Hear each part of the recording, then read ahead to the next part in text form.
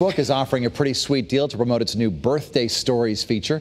Free cupcakes. And Sugar Bakery in East Haven is taking part in this giveaway. They're handing out blue and white frosted cupcakes while supplies last. The new Facebook feature allows family and friends to share videos and pictures to your birthday story.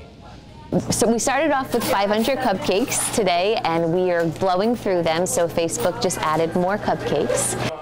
The deal goes until 6 o'clock tonight, so there's still a little bit of time. Sugar Bakery won the Food Network's Cupcake Wars back in 2010.